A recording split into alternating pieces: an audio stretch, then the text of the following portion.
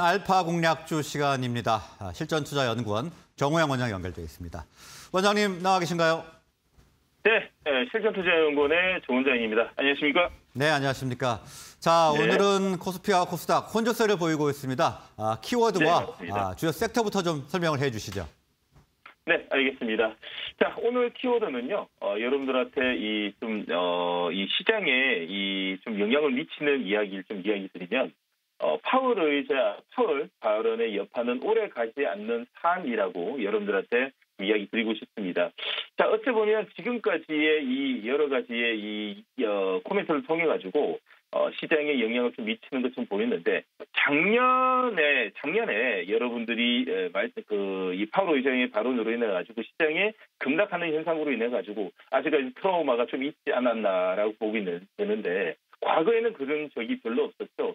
자, 이 작년 같은 경우에는 8월 의원의 증시 방향을 잡는 거는 어, 작년 같은 경우에는 오히려 더 우리나라 같은 경우에는 2차 전지에 오히려 더 이 매도 물량으로 나오다 보니까 시장에 영향을 받았지 파월 의장의 발언은 대부분이 며칠 안으로 끝난다라고 좀 볼 수 있습니다.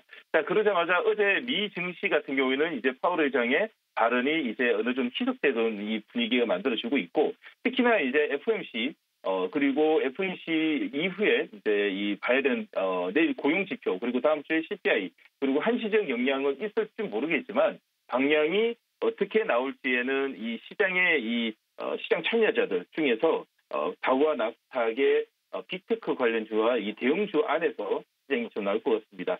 자, 그리고 매월 나오는 지표는 한 번의 이벤트에 불과하고, 특히나 중요한 것은 경제와 인플레이션 방향 자체를 어떻게 판단하고 있는지 어, 시장 참여자들이 오히려 더 대형주 위주로 좀 봐야 된다. 미 증시도 동일한 겁니다.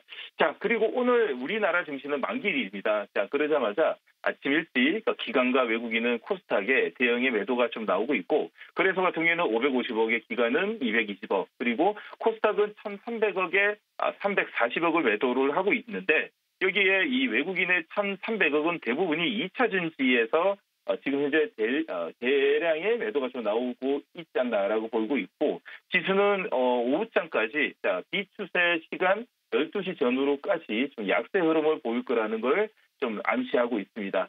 자 그러자마자 시장은 어, 반대편에서 움직이는 종목들이 좀 움직이고 있습니다. 자 지수와 상관없이 작년도 동일했죠. 지수가 빠지는데 태조 이방원 쪽이었던 걸 어, 감안하게 되면 금일도 동일하게 태양광 풍력 쪽에서 오늘 강세를 좀 보이고 있는데 자, 어제 좀 급락세가 좀 보였었던 이 현대 에너지 솔루션이 5일선 지지 캔들이 좀 나오고 있고요. 특히나 오늘 강하게 움직인 것은 어, 지금 저점에서 어, 더 이제 저점에서 골든 크로스를 좀 만들고 있는 유니슨이 오늘 어, 여러분들은 장중 트레이딩 가능할 거라고 현재 보이고 있습니다.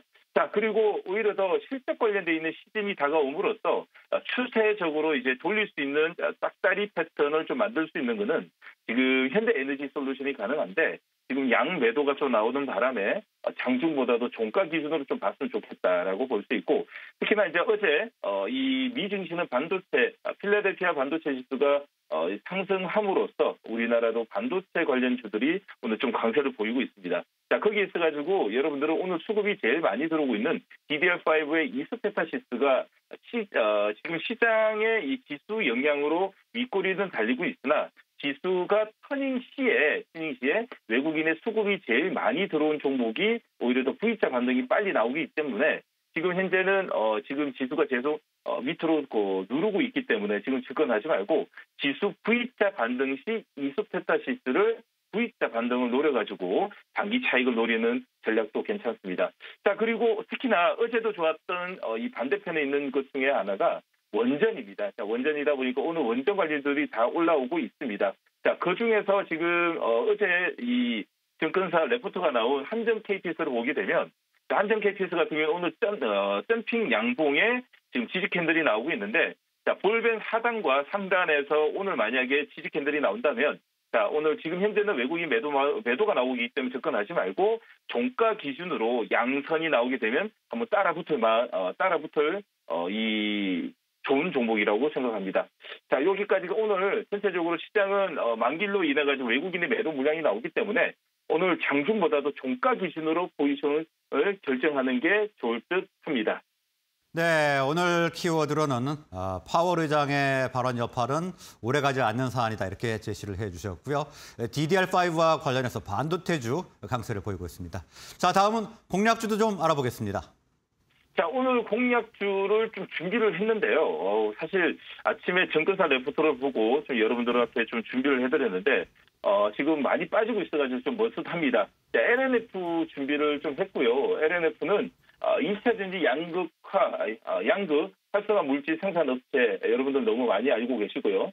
최근 테슬라향 하이니켈 양극재 공급 계약 체결 그리고 올해 양극재 출하량이 11만 2천 톤으로 전년 대비 50% 증가했고 2020, 어, 2024년까지 어, 올해의 두 배의 수준인 22만 톤의 생산을 어, 한다는 어, 그리고 실적이 가속하게 붙을 생각 어, 보고 있지만 오늘 21선 이탈하는 바람에 제가 지금 어, 여러분들한테 지금 가격 전략을 좀 말하기가 좀 애매합니다. 그러나 어, 지금 만약에 어, 장중에 장중 어, 지수가 5장에 외국인의 수급이 들어오면서 추세를 만약에 돌려놓는다면 자 22선 올려놓는 자리에서 어, 좀 꼬리를 보고 접근하자는 말씀을 좀 드리고 싶습니다. 자 목표가는 정권사 목표가에 조금 밑에 자리 잡도록 하겠습니다. 30만 원 잡고 손절가는 어, 오늘 제시하는 이, 어, 이 금액은 23만 9천 원인데 지금 23만 6천 원이기 때문에 오늘 접근하지 말고 장중 21선 올려놓는 자리까지 보고 종가 기준으로 접근을 하자라는 의견 드리도록 하겠습니다. 네, 오늘 공략주로 LNF 분석을 해주셨는데요. 오늘 약세를 보이고 있지만 목표가는 30만 원, 손절가 23만 9천 원 제시를 해주셨습니다. 자, 오늘 말씀은 여기까지 듣겠습니다. 고맙습니다. 고맙습니다.